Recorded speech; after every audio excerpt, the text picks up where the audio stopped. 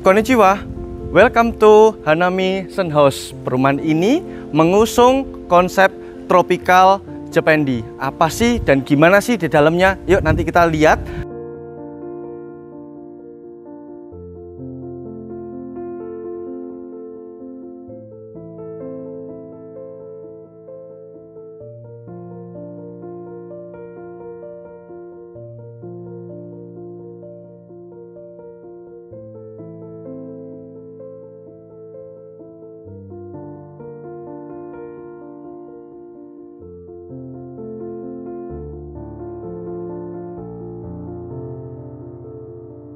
Dan aku mau tunjukin ke kalian, di sini sudah ada carport untuk muat dua mobil dan di sini sudah disediakan tandon di bawah dan juga taman kecil plus sekaligus ada keran air untuk tanaman dan juga buat kalian yang suka cuci mobil sendiri bisa meng menggunakan keran itu. Yuk kita langsung masuk. Rumah ini udah dilengkapi dengan smart door lock dan smart home.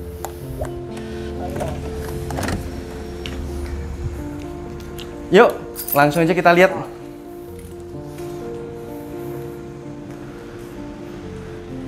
Nah, rumah ini langsung kelihatan juga dengan living roomnya dan di sini untuk bersantai-santai bersama keluarga, furniturnya juga cukup komplit dan di belakang aku ada juga dining room plus dapur di belakangnya langsung. Nah, ini teman-teman yang menariknya dari rumah ini.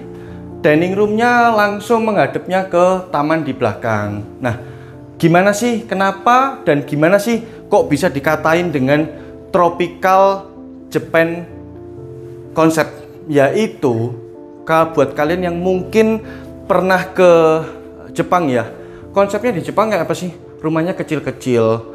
Tapi kalau di sini nggak seperti di Jepang. Luas tanahnya aja 84 meter persegi kamarnya di sini ada dua. Nah, tapi mengusung dengan konsep Jepang yaitu adalah apa? Motif lantainya semua serba kayu. Furniturnya juga semua bercorakan kayu, motif kayu dan kalian mungkin bisa lihat semuanya menggunakan doff, tidak ada yang glossy. Nah, itu mungkin salah satu uh, yang dikatakan dengan metode ataupun konsep Jepang yang tadi, ya kan? Terus yang kedua, mengusung konsep tadi itu mempergunakan space-space khusus, space-space kecil yang bisa dimultifungsikan untuk macam-macam. Contohnya yang tadi aku lihat di kamar mandi di dalam. Kamar mandinya memang sharing, tapi di bawah tangga itu ada tempat satu penyimpanan untuk uh, apa namanya pompa air dan juga tempat untuk taruh-taruh kayak sapu dan uh, pembersih yang lain. Nih, nih teman-teman. Nah, kan jadi mempergunakan space yang ada teman-teman.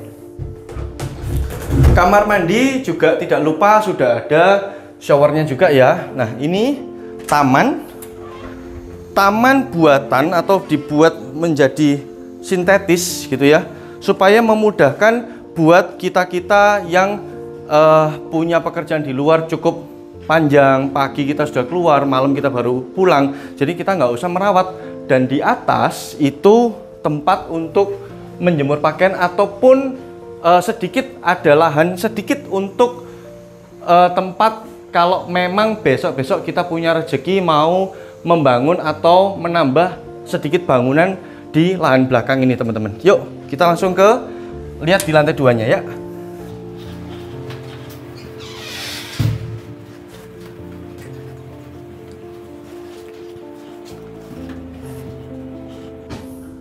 Nah, di lantai dua ini ada dua kamar tidur dan satu kamar mandi. Uniknya satu kamar mandinya terkoneksi untuk dua kamar tidur teman-teman. Nah, mengusung konsep Jepang tadi yang aku bilang menggunakan uh, furniture yang memang didesain sangat elegan dan juga multifungsi tidak membuang space sedikit pun.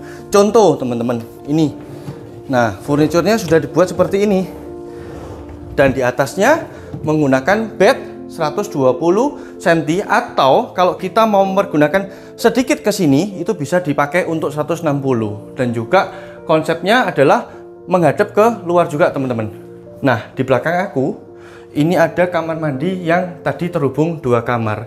Ini kan rumah contoh, jadi nggak ada pintunya. Nanti kalau ada pintunya tetap terkoneksi teman-teman. Dan juga sudah ada showernya. Nah ini untuk master bedroomnya. Ini rumah contoh sudah dipersiapkan dengan bed 160 tapi kalau kalian mau bikin menjadi 180 ini masih cukup muat cukup banget teman-teman. Nah ini di belakangku juga sudah dipersiapkan dengan wardrobe-nya.